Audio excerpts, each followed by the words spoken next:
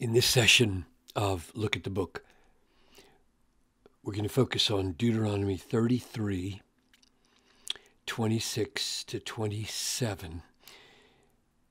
And the question we're posing is can you find a precious promise that has wonderful contemporary application in the midst of a poetic section that is filled with strange words and images.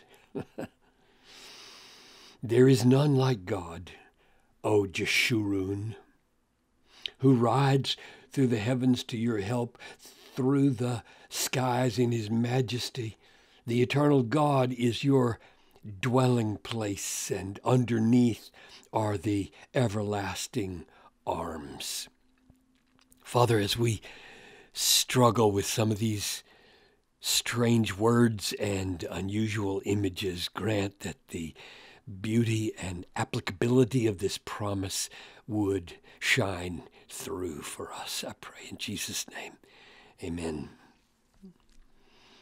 So it's probably good when we are looking at a promise like this to get the context and probably you run into this. I ran into this just in the last day, uh, reading through Deuteronomy. And so the context just before is blessings uh, given by Moses on the 12 tribes. He takes each tribe one at a time and pronounces blessings on them. And, and then what follows it is a concluding promise of, of safety and security. And in the middle here is this transitional uh, promise made by Moses there is none like God, O Jeshurun.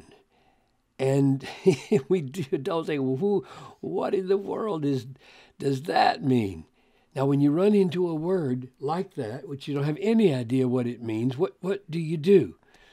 Well, you can do one of four things. You can use a concordance, which I think is the first thing you should do, and that is a concordance tells you all the places where this word is used. It's used only three other times, and we'll look at them in just a minute.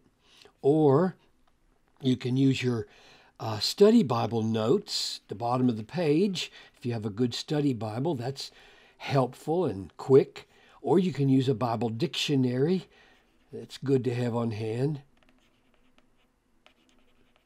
Or, if you're really sophisticated, you can poke around to find out what did, how did the, the Septuagint, that's the Greek translation of the Hebrew Old Testament, how did it translate it?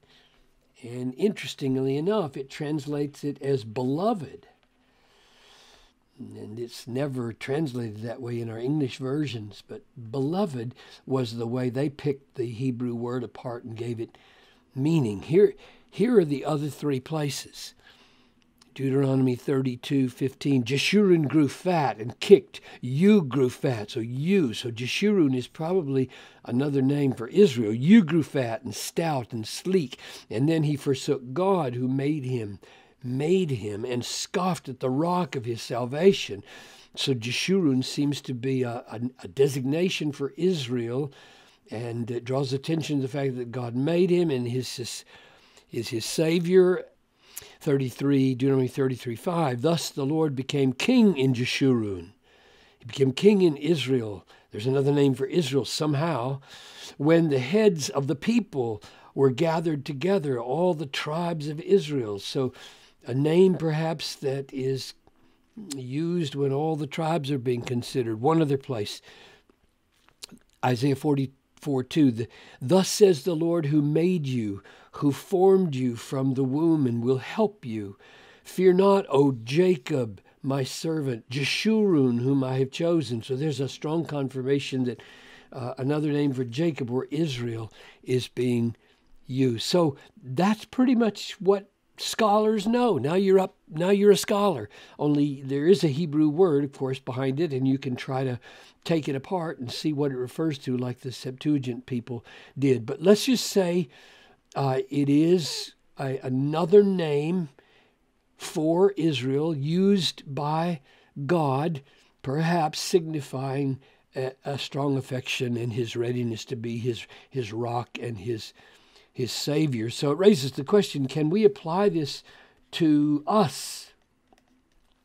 And there's a note I think at the bottom on the website that sends you to a lab that I did to try to explain why Gentile Christians can take promises like this. I think if you are in Christ and all the promises are yes in him, a promise like this can be yours. So let's let's continue on and see what else we find. Therefore, there is none like God, O Jeshurun, and this God rides through the heavens to your help. He he he rides on a chariot, not a airplane, through the heavens to your help, through the skies in his majesty. So the first image is of, of God who's who's riding through the skies. Strange image for God.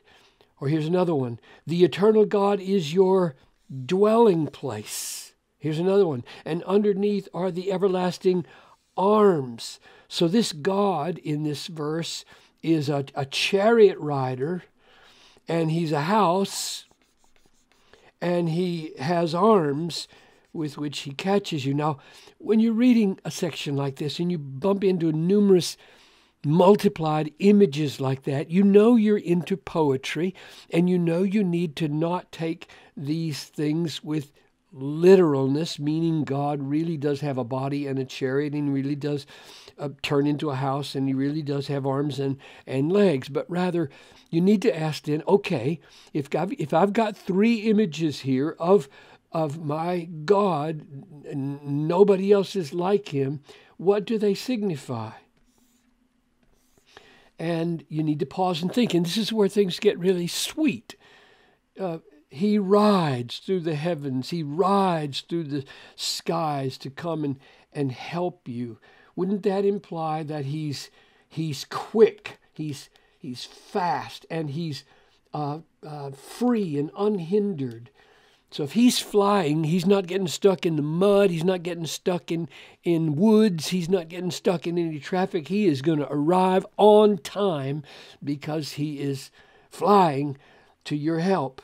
He's a dwelling place, which means he's he's close, even in um, domestic non-war times. I mean, you might call him a refuge, but here it's just a dwelling place. He we live in him all the time, and everlasting arms. He is he is strong to catch us when we fall or when we're when we're weak.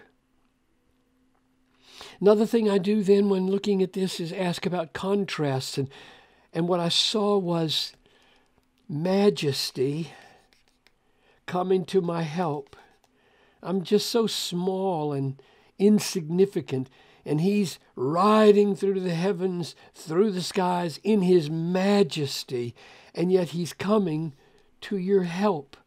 And that's just enormously valuable to think about. He's, he's a helper, means he gets down low with us in our problems and, and deals with what we're dealing with, and he does it as a majestic God. He doesn't have to forsake being majestic in order to be a helper. And in order to be a helper, he doesn't have to be uh, small and insignificant to fit in our little problems. He can stay majestic. And the last thing I note is this phrase, there is none like him. And I wonder, what is it about him here that causes Moses to say, he's unique? He is absolutely unique among all the beings of the universe, among all the gods. And it may well be this issue of he's majestic and willing to step down to help the lowly and be their dwelling place and be arms underneath them. And that caused me to remember Isaiah 64 4, where you have another statement of uniqueness. From of old, no one has heard or perceived by the ear, no one. No eye has seen a God besides you. Now, what's unique about this God? Well, what's unique is he works for those who wait for him. So here you have an absolutely unique God in that he uses his divine power to work for those who wait for him. Many gods do the opposite. They show their authority by saying, "Okay, you lowly human beings, you you will now work for me." And I'll wait to see if you perform good enough for me. And our God works for those who say, I can't work for myself. I have to wait on my God. So, what's unique here, I think, is that we have an absolutely majestic God who, in his majesty, rides quickly and freely to help us in whatever situ- situation we are and becomes a, a dwelling place for us and in our weakness catches us when we fall. It is a very precious promise amidst all of its strangeness.